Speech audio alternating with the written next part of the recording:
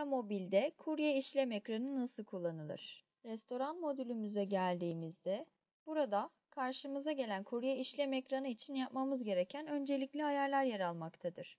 Bunun için ekranı çalıştırdığımızda ekran bize bu uyarıyı verecektir. Kurye işlem ekranının kullanılabilmesi için bu kullanıcıya ön tanımlı şube ve kurye tipinde garson tanımlanmalıdır. Bunun için masaüstü ayarlarımıza gelerek kullanıcı listesinden ulaşmış olduğumuz mobil kullanıcı için ön tanımlı parametrelere gelerek burada hangi firma içerisinde kurye işlem ekranını kullanmak istiyorsa yeni bir satır açıp firmalardan ilgili firmayı seçip ön tanımlı şube ve depo ayarlarımızı yapıp ön tanımlı kasa ve cari seçimlerimizi de yaparak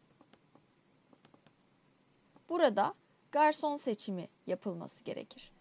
Garson seçimi için listeye geldiğimizde tanımlamış olduğumuz garsonlarımızın mutlaka kurye seçeneğinin olması gerekir. Kurye seçeneği için herhangi bir garson üzerine gelip garson kartı içerisindeki kurye işaretinin olması gerekmektedir.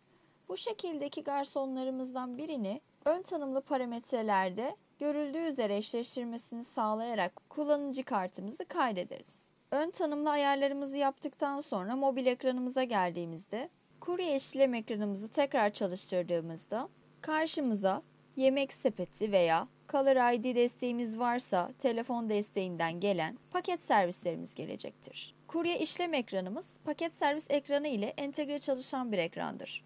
Paket servis ekranından oluşturulan herhangi bir sipariş eğer mobil lisansımızda var ise kurye işlem ekranına da düşmektedir. Bu şekildeki işlemlerimizde karşımızda siparişlerimizden bekleyen, yola çıktı ve teslim edildi şeklinde 3 ana durum yer almaktadır. Burada müşteri adında aramalar yapabileceğimiz gibi herhangi bir siparişin içerisine gelip siparişi bana ata diyerek ürünü ilgili garson üzerine atabilir. Ürünler diyerek ürünleri görebilmekteyiz. Bana ata dediğimizde siparişimiz için kurye ataması başarılı bir şekilde sonuçlandırılmıştır. İlgili kurye ataması sonrası yola çıktı sekmesine gelerek seçmiş olduğumuz siparişi burada teslimat öncesi ürünleri görmek istersek tekrardan yine sipariş üzerine gelerek ürünler diyebilir. Veya tekrar sipariş üzerine geldiğimizde ödeme al, iptal et veya yazıcı istemcisi seçebiliriz. Yazıcı istemcisi seçmiş olduğumuz kullanıcı paket servis fişimizi yazdırabilmemiz için yazıcı istemcisindeki karşımıza gelen kullanıcılar mutlaka masa üstünde yazıcı bağlantısı yapılan bir kullanıcı olmalıdır.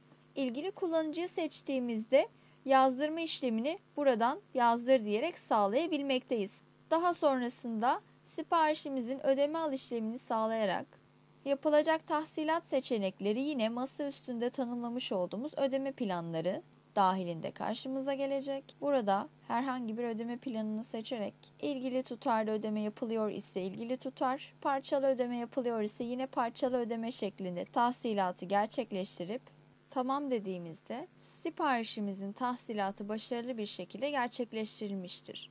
Teslim ve iptal sekmesine geldiğimizde de yine nakit olarak beklenen ödemenin gerçekleştirildiğini görebilmekteyiz. Burada aynı zamanda ekranda yapılan herhangi bir güncelleme sonrası yenile diyebilir. Barkod sekmesi gibi olan bölüme gelerek ilgili fiş numaralarını seçerek toplu kurye atamaları gerçekleştirebilmekteyiz. Burada paket servis ekranından almış olduğumuz siparişleri mobil yönetimi sayesinde bekleyen, yola çıktı ve teslim edildi durumlarını takip ederek mobil işlemlerimizi kolaylıkla gerçekleştirebiliriz.